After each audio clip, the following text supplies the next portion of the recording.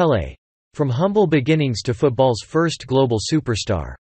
The three-time World Cup winner is regarded by many as the greatest player of all time. Brazilian football legend Edson Arantes do Nascimento, better known as Pelé, has died aged 82 in São Paulo. Pelé's passing at the Albert Einstein Hospital in Brazil's largest city follows a prolonged period of ill health and a battle with colon cancer. The football icon had a tumor removed from his colon in September last year, and had been visiting the hospital on a regular basis. Fresh fears for his health emerged when he was readmitted for treatment in November.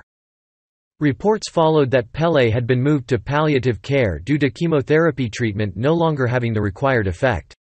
The worst was confirmed on Thursday as news of Pelé's passing prompted mourning for one of the most iconic figures to have graced any sport. As a three-time World Cup winner, Pelé forged a legacy which established him among the greatest footballers—if not the greatest, of all time.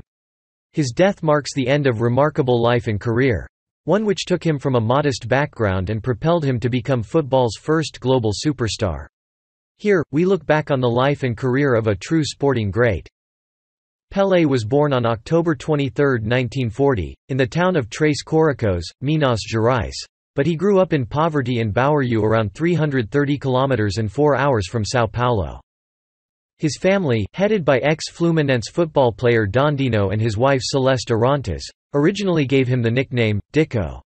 But the way he mispronounced the name of his favorite player, Vasco da Gama goalkeeper Bile, later earned him the name Pelé. A young Pelé helped his family by earning extra money working in tea shops but could not afford a proper football.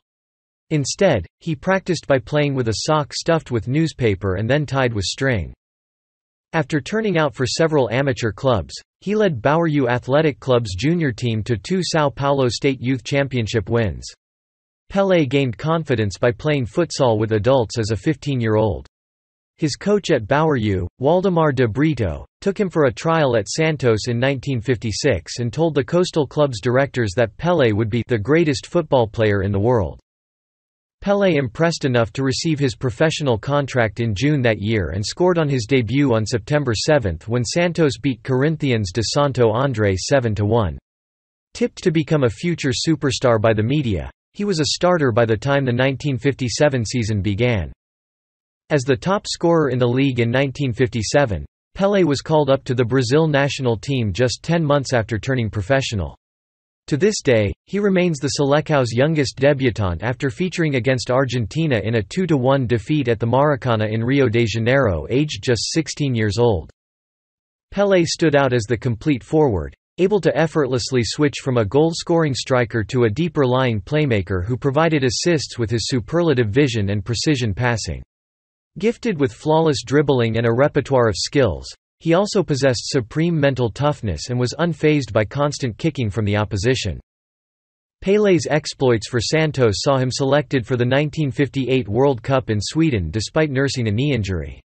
After he recovered and his teammates demanded he was picked by Vicente Feola, Pelé became the youngest ever player at the World Cup at the time. Brazil beat the USSR 2–0 in his debut, and Pelé made an instant impact by assisting Vava's second goal in the third match of the first round.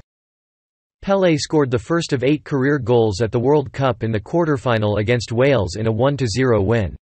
In the semi-final against France, with the score 2–1, Pelé netted a stunning second-half hat-trick in 23 minutes, and went on to bag a brace in a 5–2 win over host Sweden in the final.